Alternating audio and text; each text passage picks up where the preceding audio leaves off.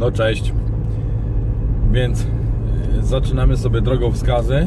Y, Będzie inny odcinek niż nagrałem tydzień temu, bo już miałem przygotowany film jakby na dzisiaj. Ale jakoś tak sobie postanowiłem, że nie, chcę o czymś innym Wam dzisiaj powiedzieć. A o czym będzie? Y, O próbowaniu. Zapraszam.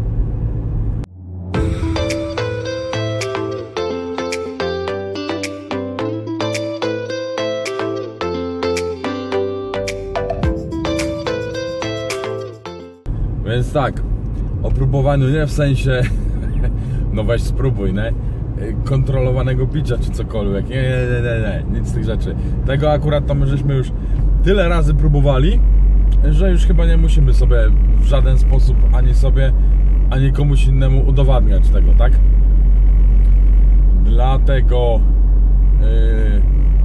rozglądam się tutaj, bo mi latają po drodze, to muszę się trochę znacznie, znacznie bardziej skupić na tym, co się dzieje wokół mnie. Dobra. Yy, więc o próbowaniu mi chodzi. tak o tym gadałem. Posłuchajcie, kochani.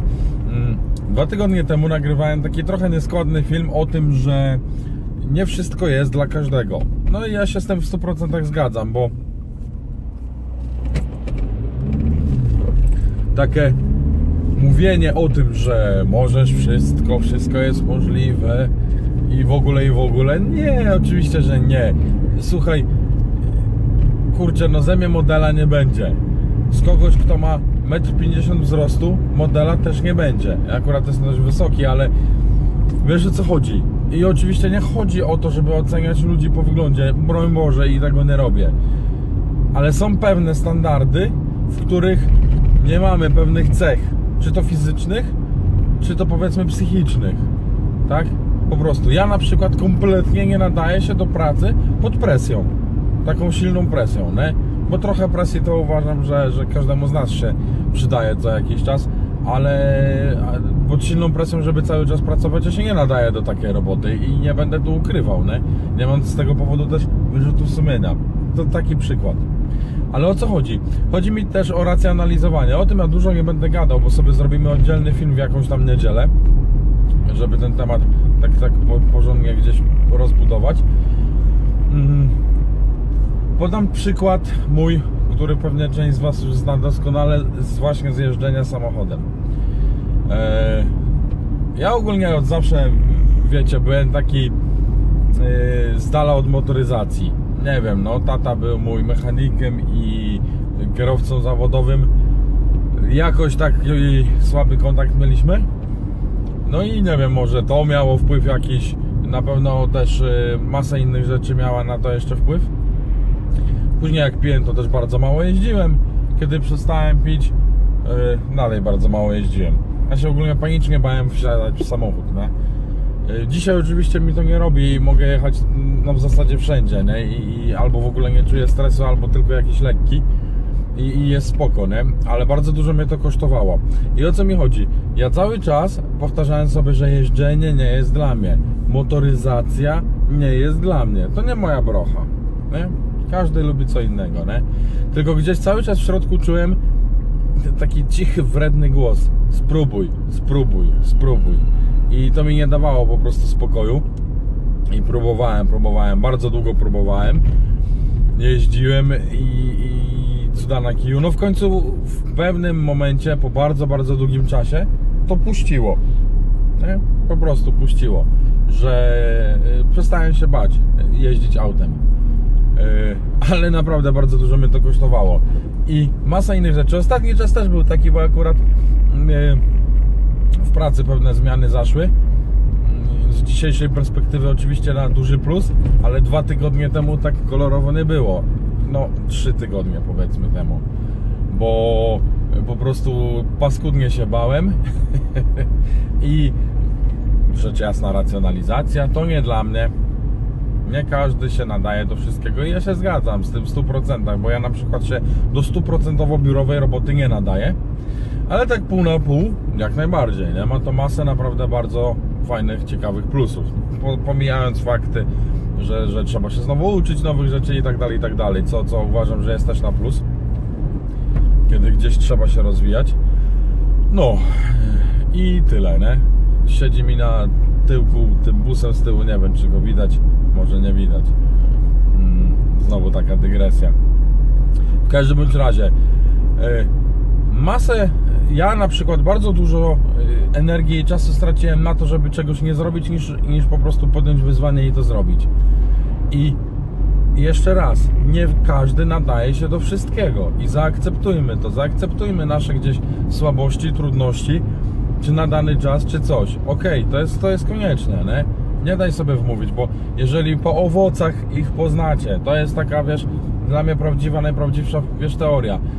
Yy, jeżeli widzisz, że po n tym razie coś ci nie wychodzi, to sobie to odpuść, no to może nie jest dla ciebie, a nie po prostu w kółko i w kółko i w kółko, tak? masz na pewno masę innych cech, tak jak każdy z nas, w których możesz się rozwinąć. Czym było trochę w zeszłym tygodniu, e, dwa tygodnie temu. Ale mimo wszystko spróbuj. I o tym właśnie jest ten odcinek. Nie wiem, czy to był taki długi wstęp, czy to już jest ta część właściwa. Ale chodzi o to, żeby po prostu, kochani, naprawdę, naprawdę próbować. Yy, no nawet tak jak z tym nagrywaniem filmów, no nie dowiedziałbym się, gdybym nie spróbował, nie? No i, i wychodzi to i powoli to się wszystko rozwija. Jest fajnie, jest dobrze, nie? Ale trzeba było po prostu spróbować. I ja wiem, że my możemy racjonalizować po prostu w idealny sposób swoją sytuację życiową, byleby tylko zostać w swoim ciepłym gniazdku. Proszę spróbuj. I tu mówiłem o takich rzeczach głównie związanych z pracą zawodową, czy z jakimiś innymi wyzwaniami. I nie chodzi mi o to, żeby próbować wszystkiego, nie? Nie wiem, boję się wysokości, skoczę ze spadochronu. Ale powiedz, co to w Twoim życiu zmieni na dobrą sprawę? No, ja wiem, że to są takie fajne popisówy, yy, wiesz, coachów rozwoju osobistego, ale co to zmieni w Twoim życiu? No, boisz się pająków. Ja się boję pająków. Ogólnie robali. Boję się wszystkiego, co ma więcej niż cztery nogi, nie? wiesz, nie może jakoś panicznie, chociaż jakby mi tu jakiś robal wielki wlast, to nie wiem jak to by się skończyło. Eee, czy ja bym w ogóle na drodze skończył tą akcję. Ale chodzi o to, że co to zmieni w moim życiu? Ja nie mam do czynienia na co dzień z robalami, tak?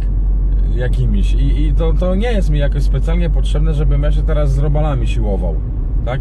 Ale jeżeli masz jakieś yy, trudności, rzeczy, które mają bezpośredni wpływ na co dzień, a to jest relacja w rodzinie, praca, yy, czy masę innych jakichś tam, nie wiem, związanych spraw z konsumpcjonizmem i tak dalej, yy, ze zdrowiem oczywiście. Na to wszystko mamy, yy, wiesz, codziennie, z tym, z tym przebywamy codziennie w ten sposób. No to tam jak najbardziej warto się rozwijać, próbować, nie? Weź przede wszystkim trzeźwienie. Ja wiem, że w doskonały sposób możesz sobie wytłumaczyć, nie, ja nie mam czasu na trzeźwienie, nie mam czasu na terapię, a, a to nie dla mnie i tak dalej, i tak dalej. Spróbuj. Ale to nie jest spróbuj raz. Spróbuj znaczy przynajmniej miesiąc, dwa, trzy. Ale nie tak, nie? Muszę posadzić dupę, nie? I, i głową, myślami być zupełnie gdzie indziej. Bez angażowania, bez odnoszenia tego, co słyszysz do siebie. Nie, to nie jest spróbowanie. Spróbuj, ale na 100%. Tak? Na 100% znaczy daj z siebie tyle, ile po prostu potrafisz w danym czasie. I, I, na tej zasadzie, drogie panie, współuzależnione, głównie panie współuzależnione, was to też dotyczy. Bardzo. Spróbujcie tej terapii współuzależnienia, bo y, o tym będą jeszcze też filmy, ale naprawdę, mm, jeżeli facet nie przestanie pić, znacznie łatwiej będzie wam w tym wszystkim w życiu funkcjonować. Nie będziecie podejmować złych decyzji same się poukładacie. Tak? A jeżeli facet zacznie trzeźwieć, to mówię ci, jeżeli nie będziesz się też rozwijać, to się w końcu miniecie, bo nie będziecie mieli wspólnego tematu. No, tak to wygląda. No, będą też o tym filmy. Spróbuj, naprawdę spróbuj. I nie, nie szukaj yy, powodu, pretekstu, by nie zacząć. Tak? Tylko po prostu spróbuj. Ale jak spróbujesz, to oddaj się temu naprawdę na 100%. Tak? I naprawdę ja masę, masę energii straciłem na to, żeby po prostu kombinować, uciekać, nie próbować, niż po prostu spróbować i się rozwinąć. No. Także tyle. Coś jeszcze chyba chciałem mówić, ale widocznie widocznie nic specjalnie takiego istotnego, bo zapomniałem. Yy, no, tyle. Dobra, kochani. Będę skończył, a my się widzimy w niedzielę. W normalnym odcinku, tym razem tak, tym razem w podsumowaniu całej serii Nawroty. Pozdrawiam, dobrego czwartku życzę, cześć.